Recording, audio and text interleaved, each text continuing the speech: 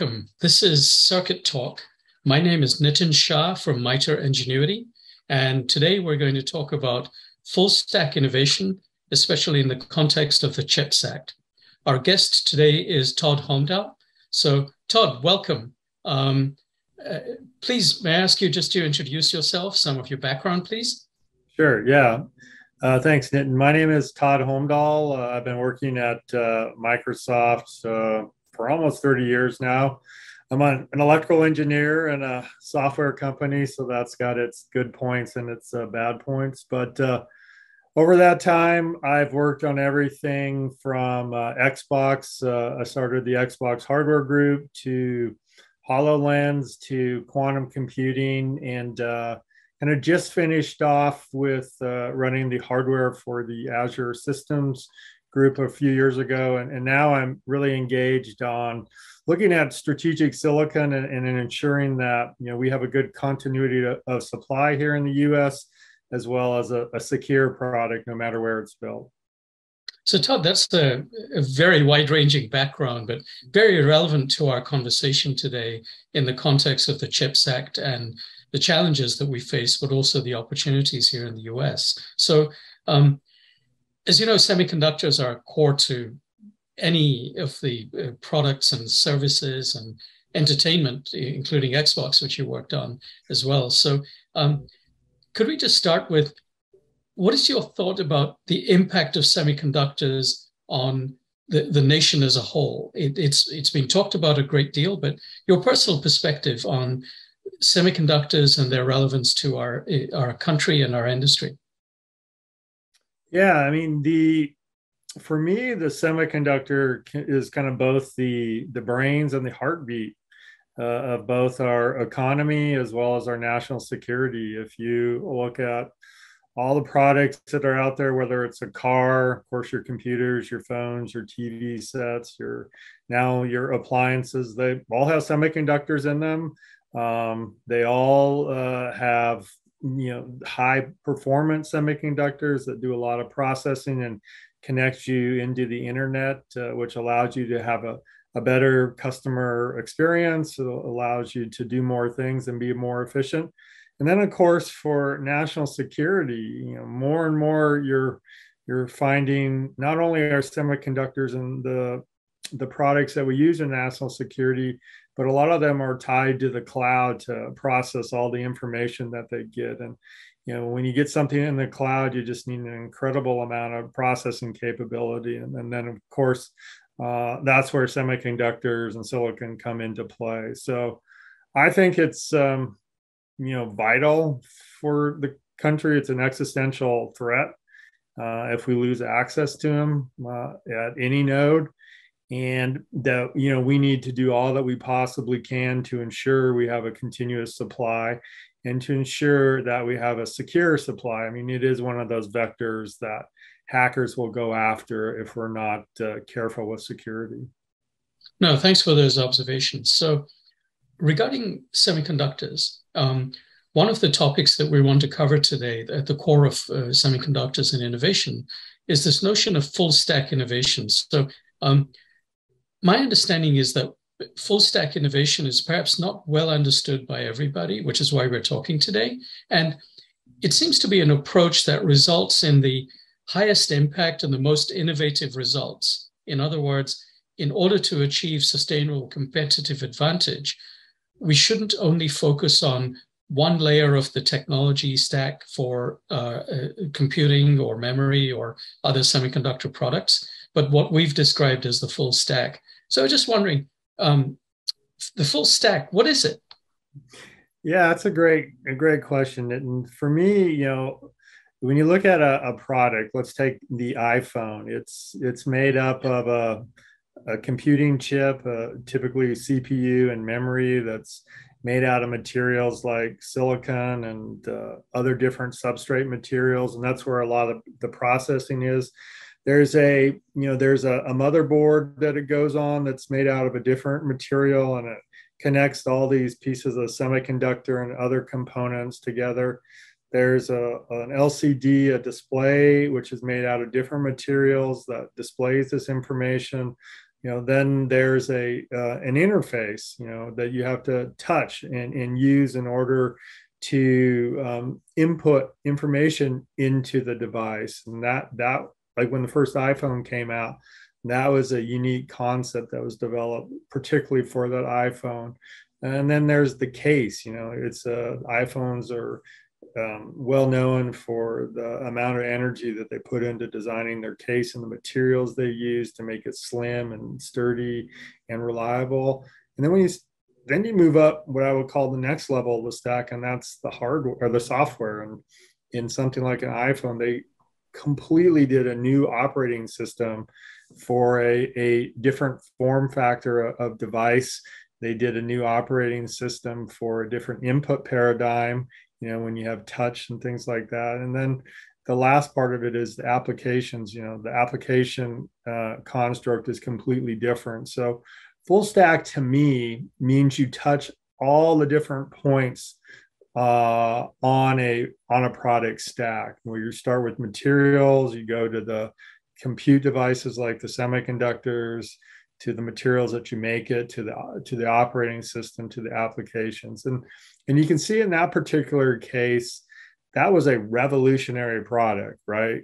Because of the fact, I mean, had a no one expected that type of device. We were all prior to that had these big PCs or we had clunky um, devices that kind of look like a tiny PC, but you couldn't input into them and you couldn't look at anything because they were too small. And what Apple had done at that time was they were they were really able to create a revolutionary product. And my thesis is that that you know, we're running to the end of a lot of these different like just focus on one layer of it and that in order for us to have revolutionary projects think of a moonshot or the manhattan project that you really need to touch every level of the stack.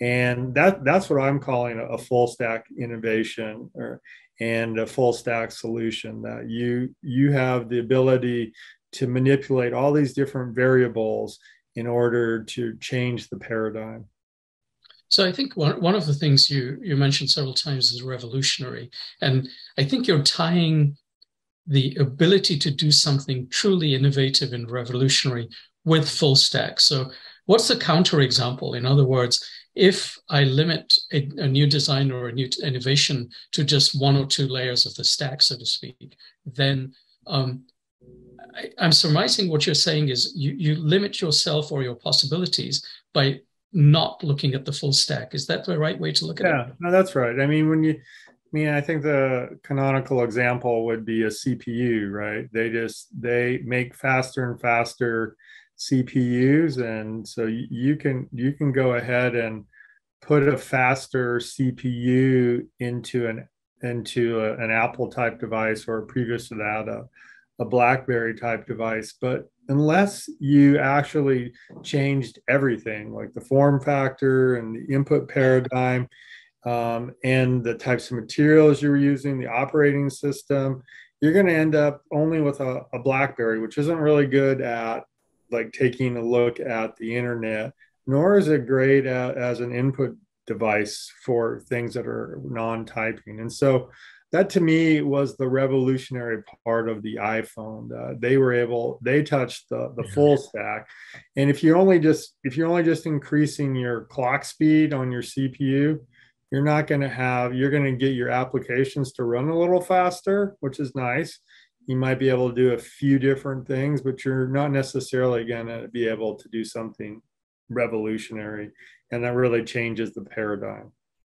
So there's a, a kind of a historical perspective here. I recall uh, a, a, lecture by Professors uh, Hennessy and Patterson uh, in a Turing lecture a few years ago.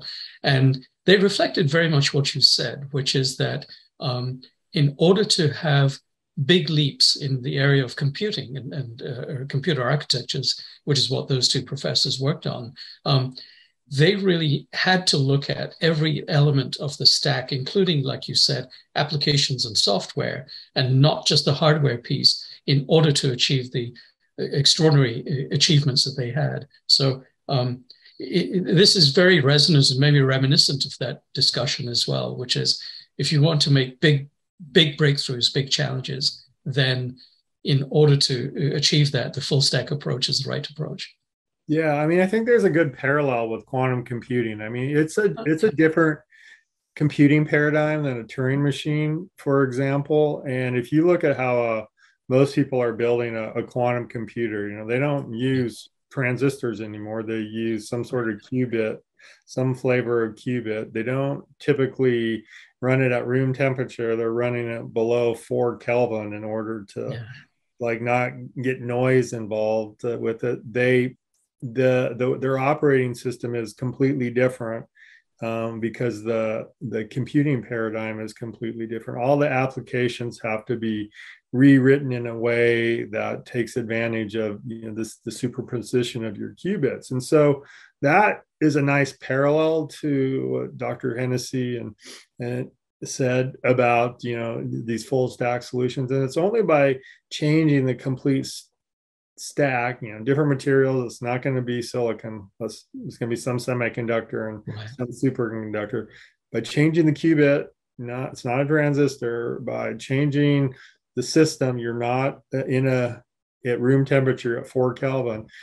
You're not running Windows OS on it. You're running some crazy new uh, operating system, and your applications are, are completely different. They have to take advantage of these uh, this ability to do superposition. So I think that to me, that quantum computer is a revolutionary device. I mean, it's going to do things that the Turing machine, I mean, it's going to take it a billion years to crack some sort of encryption where a quantum computer can do it in a few days. So that those are the types of things that you know I want to aspire to and I want to inspire other people to get into this field that they see the types of things that we're trying to do. Yeah. So before talking more about the future, I also did want to talk a little bit about your past regarding the Xbox, which is very personal. So I think yeah. all of us have been entertained and, and amused by the Xbox. And just wondering, um, you know, the Xbox had many extraordinary capabilities. So uh, is that also another example of where you personally uh, pioneered sort of full stack because you have sensors, the input device, and and obviously all the computing and gaming capability as well.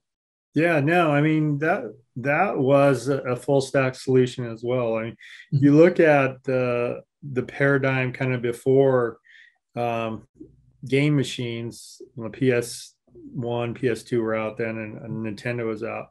But the paradigm before that was really about using a general purpose PC, right?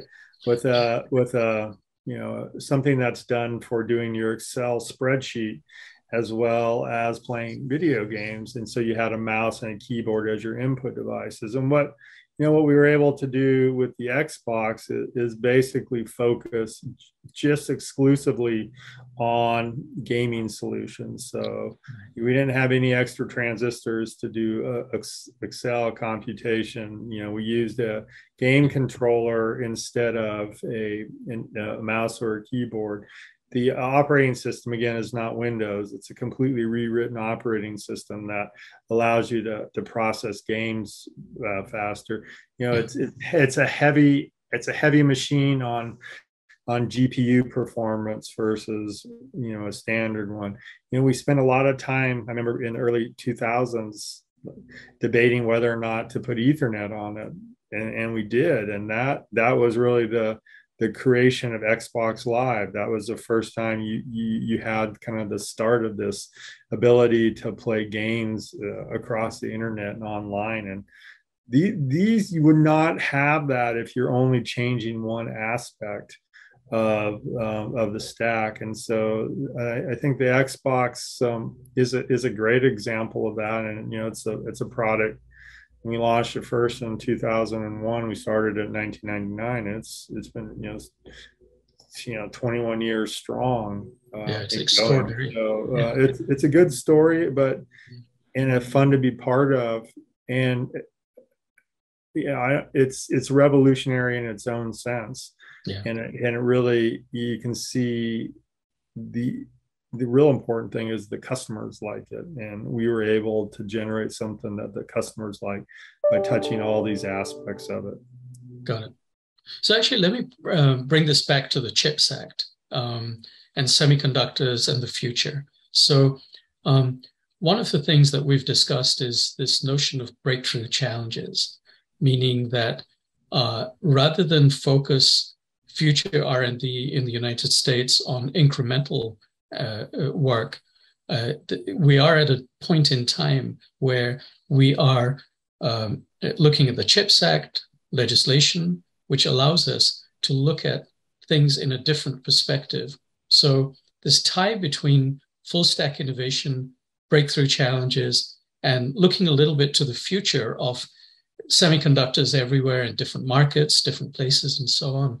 Just your observations on how we, we can really inspire the industry and academia, perhaps, to take on research, development, prototyping projects, which really are going to turn into massive commercial successes. So, your thoughts, just in general, of all those. Topics? No, I uh, I'm a huge believer in these in these this idea of breakthrough challenges. I, th- I think it really forces you to think outside of the the the normal paradigms that are out there, uh, and whether it be you know operating computers at a tenth of the energy they use today or you know looking at quantum computing or going after climate change or you know any of a number of uh, interesting solutions out there. I I, I like the idea because it again it forces you to to think differently about the product to really stretch yourself um, it gives you some guidelines too. You're, you're not just doing business as usual putting like research and